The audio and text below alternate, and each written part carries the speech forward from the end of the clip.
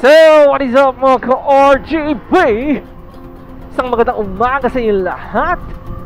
Hope everyone is doing great today because today, punta tayong binangonan. Yes, binangonan tayo for today's video.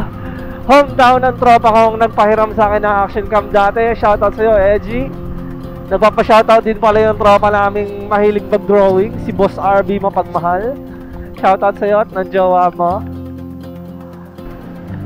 So, breakfast ride tayo for today dahil may nakita akong magandang spot dun sa Binangonan. Bagong-bago pa lang sila actually. I think wala pang 2 months ever since nag-open sila. So, we're gonna visit it.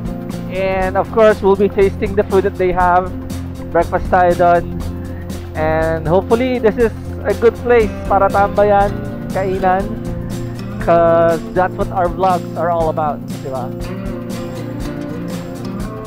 To be completely honest, medyo miss ko na rin talaga mag-Marilake. It's just that, as much as possible, I'm trying to avoid pumunta doon ng weekend.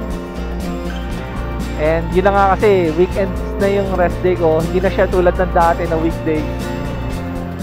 Eh hanggat maaari, gusto ko lang umakit doon ng weekdays para maluwag yung kalsada, and for safety purposes na rin, syempre. Pero sooner or later, we're gonna have to try it out. Pumunta doon ng Marilake kahit na weekends yung rest day ko. Based from what I seen sa internet and social media recently, medyo mahigpit naman na doon.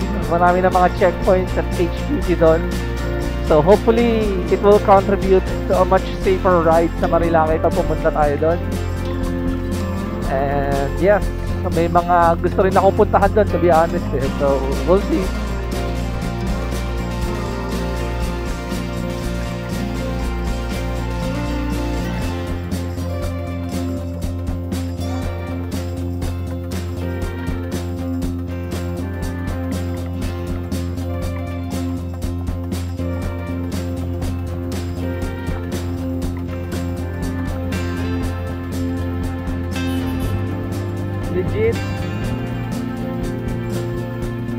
Oh god.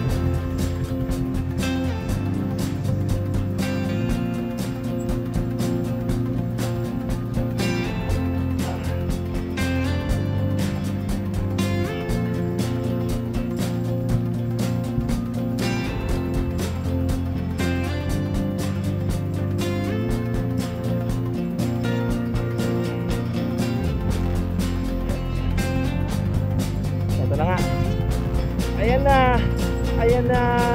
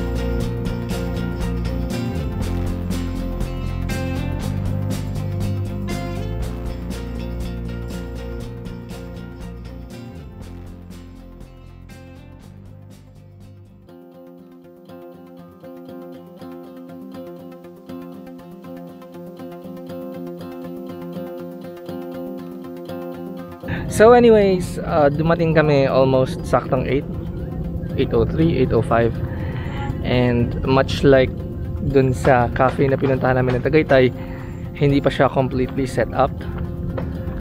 Uh, parang nagpe-prepare pa lang sila. So what we did is kumain muna kami bago ko kumuha ng shots ng place para mabigyan ko ng sapat na time si ating i-prepare lahat ng i-display niya yung mga tables. So you probably notice na parang nung kumuha ako ng shots ng lugar tapos na kami kumain. Pero yun, yun yung purpose nun. So anyway, actually okay dito, maganda dito makaliwala siya. And medyo payapa, tahimik you know. It's just a shame na hindi kami nakapwesto sa taas Actually, kami yung unang customers na dumating dito and nag-request sana ako na doon kami sa taas. As you can probably see sa likod. Uh, kaso nga daw, makalat dun ngayon. As you probably know and would notice, uh, yung mga tao doon parang nag kakabit sila ng bagong bubong doon siguro para pag umulan or pag masyadong mainit yung tirik ng araw. So, sayang kasi maganda sana yung view from up there. Pero yun nga, as much as I requested na dun sana kami, sabi, masyado daw makalat dun ngayon. So, hindi ko siya nasama. Anyways, um, this is probably going to be a very short vlog. Kumain lang kami dito actually. Uh, breakfast ride. Dahil uh, may pupuntahan pa kami sa Kainta after. So, yun lang naman. Alright, so we are heading home. As mentioned, it's a breakfast ride para sa amin. Not much to say about it. So as for the place, well, we really liked it. Uh, maganda naman yung design ng lugar. And uh, malinis, syempre, which is to be expected kasi nga medyo bago pa yung lugar. Um, the only downside sa mga gantong vlogs namin na pinupuntahan agad namin yung mga bagong bukas is, ayun nga, bagong bukas siya and most of the time, hindi pa kompleto yung decorations, yung renovations. So, ang ending is, after some time na ma-vlog namin yung lugar, once na puntahan nyo or balikan namin, maganda na talaga yung lugar. Marami na nadagdag, marami na na-improve. Some of the best examples are yung Cafe in the Sky, Peaceful in the Sky, yung Tagpuan Lake View, na matatagpuan nyo lahat dun sa Angono na pinuntahan namin before lahat sila improved na yung itsura. They look so much better than they were before pag nakita niyo yung vlog ko. I'm seeing it to be the case as well para sa lugar na to, especially kasi hindi kami nakapag-vlog dun sa second floor, nire-renovate yung second floor. I think marami pang i-improve yung lugar na yon. The more the time goes by, I think may mga improvements silang gagawin din dun sa labas. Sinabi ni ate sa akin kanina, So, definitely, pag pinuntahan nyo to after watching this vlog, it's gonna look so much nicer.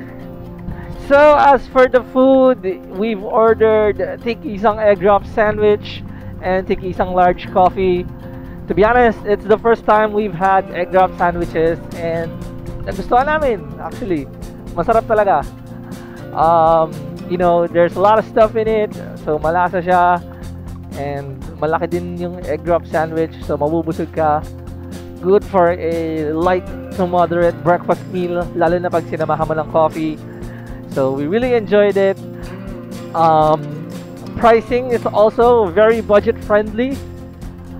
Egg drop sandwiches are around 80 to 140 pesos depende sa flavor or depende sa klase ng egg drop sandwich. And then the large coffee would be around 100 pesos each. So, budget friendly, yes. So, ayun lang naman for us today. It's a breakfast ride, so you can expect this to be a lengthy vlog. I just really want to thank all my subscribers and watchers sa patuloy na pagsuporta. And tayo ay dire-diretso lang, tuloy-tuloy lang ang pag-grind towards our goal dito sa YouTube. And with that being said, kung nakarating ka sa dulang video na to, maraming salamat! Please like, share, and subscribe to show your love and support for the channel. And once again, this is Nick, signing out.